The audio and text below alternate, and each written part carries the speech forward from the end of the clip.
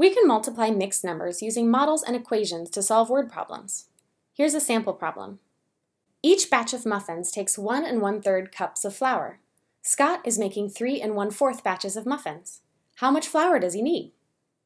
Scott needs 3 and 1 4th groups of 1 and 1 3rd cups.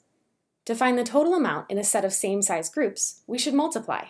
So this can be represented by the multiplication expression 3 and 1 4th times 1 and 1 3rd. Let's make a length model. This whole represents one cup. He uses one and one third cups in each batch, so partition the whole into thirds. One and one third cups is the same as four thirds of a cup. Here are three thirds, but we need another whole to make a fourth third. The green part shows one group of one and one third, or four thirds. In each batch, there are four thirds cups. So each third of a cup is one-fourth of the total flour in the batch. Shade four more thirds in purple to show another group of four thirds. And here is a third group of four thirds. Another batch would be four more thirds, but Scott's only making a fourth of it. We know that each third is one-fourth of four thirds, so we only need to shade one more third. How many cups did he use in all? One, two, three, four, whole cups, plus one third of a cup. Scott used four and one third cups. We could represent this as addition by writing four thirds plus four thirds plus four thirds plus one third. That would be three and one fourth groups of one and one third, or four and one thirds in all. Check your work by multiplying with fractions greater than one. Three and one fourth equals 13 fourths.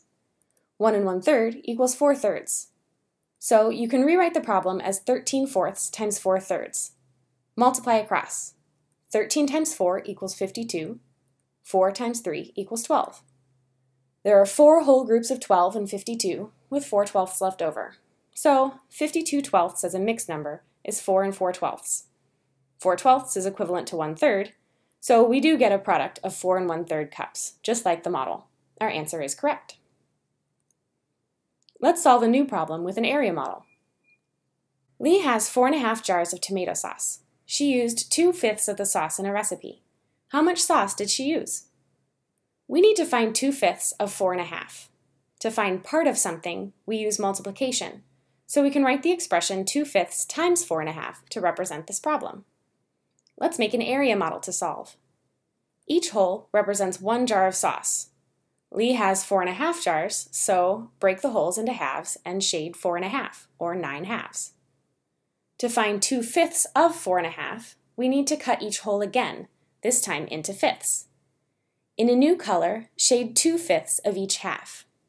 This model now represents two fifths times four and a half. To find the product, see how many parts each whole is broken into and how many parts are shaded in both colors. Each whole is broken into 10 parts. 4 tenths of each whole is shaded. 2 tenths of the last whole is shaded. 4 tenths plus 4 tenths plus 4 tenths plus 4 tenths plus 2 tenths equals 18 tenths, or 1 and 8 tenths. So, 2 fifths times 4 and a half equals 1 and 8 tenths. Check your work by multiplying with fractions greater than 1. 2 fifths is already a fraction, Four and a half is the same as nine halves. So multiply 2 fifths times 9 halves. 2 times 9 is 18, and 5 times 2 is 10. So the product is 18 tenths, or 1 and 8 tenths. This is the same product we got with the model. Our answer is correct. In this lesson, you learned to multiply mixed numbers to solve a word problem. Thanks for watching.